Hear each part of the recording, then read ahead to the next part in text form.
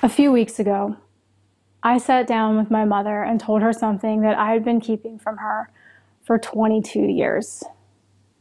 From the time that I was 14 years old until I was 16, I was sexually assaulted.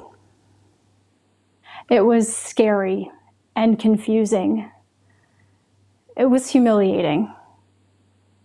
And even though I can genuinely say that my mom and I have always had a close relationship, I never told her. Even with recent movements bringing the topics of sexual abuse and sexual assault into mainstream conversation, I stayed silent. And I guarantee that for every brave soul who said, Me too, there were countless others who didn't, who still haven't. Why didn't those people speak up earlier? Why didn't I? Because of the shame. Because of that feeling inside telling me that what happened to me was my fault. We all hear that voice sometimes. It tells us things like, you aren't good enough. You aren't smart enough. You can't give a TED talk. We hear that voice and it becomes difficult to hear anything else. We begin to agonize over what other people will think of us, how they will judge us if they found out our darkest secrets. Shame is so powerful that it can become part of who we are. I told my mom what happened to me, and one of the first things that she said was, Oh, Kristin, I've been wondering what's been driving you so hard all of these years. She could see it before I could. My shame was so deep rooted that I had overcompensated by trying to be perfect in every other area of my life, trying to build the perfect family the perfect career by trying to exhibit control instead of the chaos I felt inside. I have been trying my entire life to orchestrate how the world perceives me because inside I haven't felt good enough. She always said that I burned the candle at both ends, and now she knew why. Some people may be more prone to shame than others, but sexual abuse doesn't discriminate. It has the ability to make even the most confident of us think painful negative thoughts. Why? Because it takes away control over the one thing in this life that is supposed to be truly and entirely our own our bodies. I've been haunted by one thought since my experience first began. As I tried to make sense of what happened to me, I thought to myself, this is all my fault. I didn't say no good enough. Next time, I'll say no better. I've questioned why that was my go to response and why my shame was so deep and heavy that it paralyzed me from speaking my truth for so long. And now that I'm the parent of two amazing children, I constantly wonder what I can do and what we can all do as a society to get ahead of the shame and instead empower our children to know without a doubt that sexual abuse isn't their fault. Dr. Brene Brown, who has done incredible research around shame and vulnerability, calls shame the most powerful master emotion. And I couldn't agree more. Shame has the power to make kids who have been sexually assaulted or in some other way victimized by adults turn in on themselves and experience intense internal pain. But think about that. Isn't that incredibly unfair? Haven't we failed as a society when the end result is a child feeling shame? Shouldn't it be the perpetrators? Shouldn't they be ashamed of what they've done? Instead, they prey on the shame of children and manipulate them into thinking that what happened is their fault. The person who violated me fed my shame, and I played right into it, becoming a knot of tortured silence for many years. But is that shame also my fault? Not as a victim, but as a parent who, like so many of us, has unthinkingly said things to my children like, don't let anyone touch you. Don't let anyone hurt you. Don't put yourself in situations where you can become a victim. As parents, we believe that we're empowering our children to take ownership of their bodies. But when we say, don't let anyone touch you, what we're really saying is you are responsible for the actions of somebody else. We're treating this subject like it's something children can control, which is unrealistic, and are in turn creating a sense of false responsibility in the mind of a child. An internal narrative that tells them it is their job to stop bad things from happening. That they, as children, are responsible for stopping the actions of someone who is usually bigger, stronger, and older than they are. I heard a message that I should have been able to stop what was happening to me, and that made me blame myself. I developed and then believed the idea that I had done something wrong. I constantly wonder if I'm unintentionally setting the same traps for my children.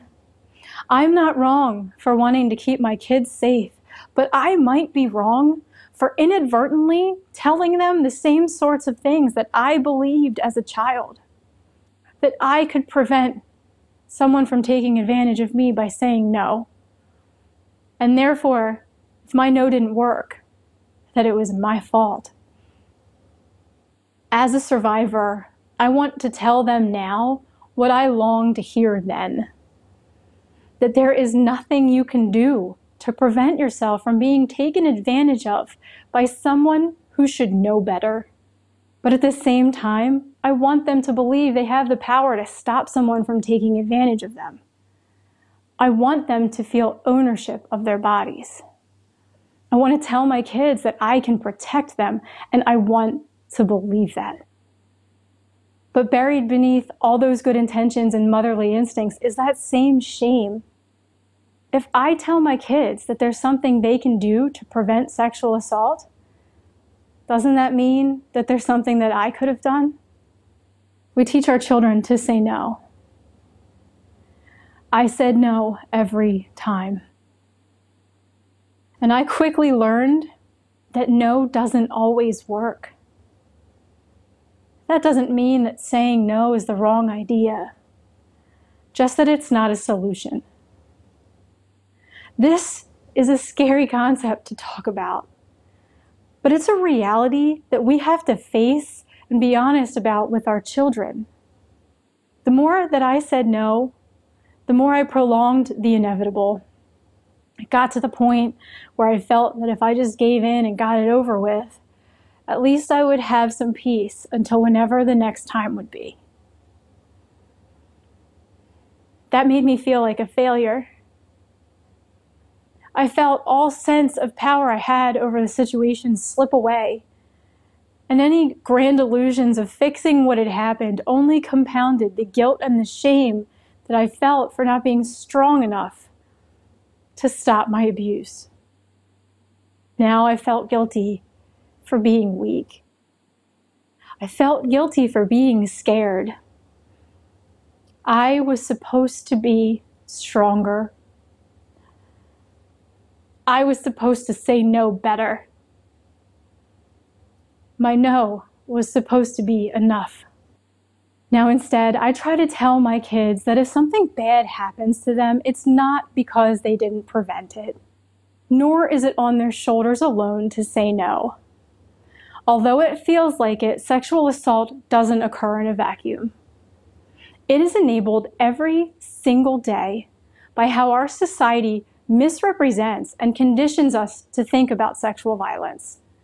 The gender norms and systemic misogyny that are ever present, the victimization of victims, and so much more. It is not just an individual problem, especially when some studies show that as many as one in four girls and one in 13 boys experience sexual abuse at some point during childhood. And that means It's not just on individuals to solve it. So, of course, while I try to teach my kids about strength and resilience and persevering and overcoming obstacles, I make sure that they know strength doesn't mean facing challenges or dark feelings alone. In fact, there's strength in numbers and strength in asking for help. I was ashamed to speak up for fear of appearing weak. But what I learned is talking about what happened to me only made me stronger. It made my shame start to dissipate. I teach my kids about courage, and I want them to know that courageous, strong people ask for help. I remember when I was little, my parents would walk me to the bus stop. They said it was to keep me safe, and I believed that. I remember always looking out for that white van that I'd been warned about. But like over 90% of children who are sexually abused, I wasn't taken off a street corner or abducted from a shopping mall. I was violated by someone I knew. My parents did everything they could to protect me.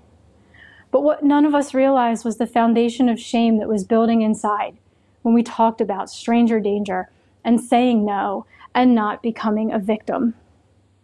Of course, this wasn't intentional.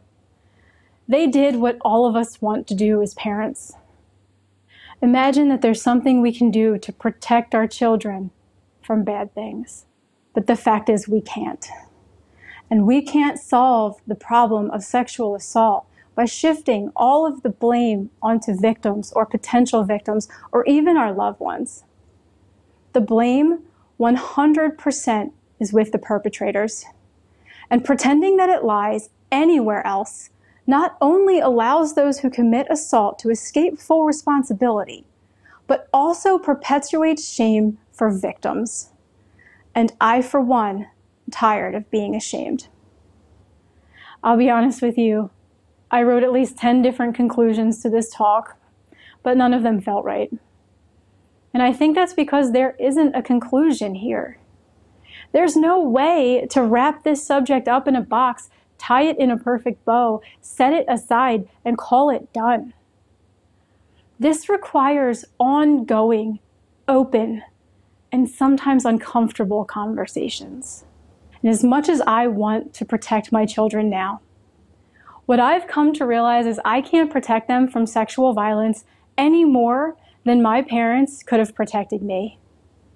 But what I can protect them from is shame. God forbid my children go through what I went through.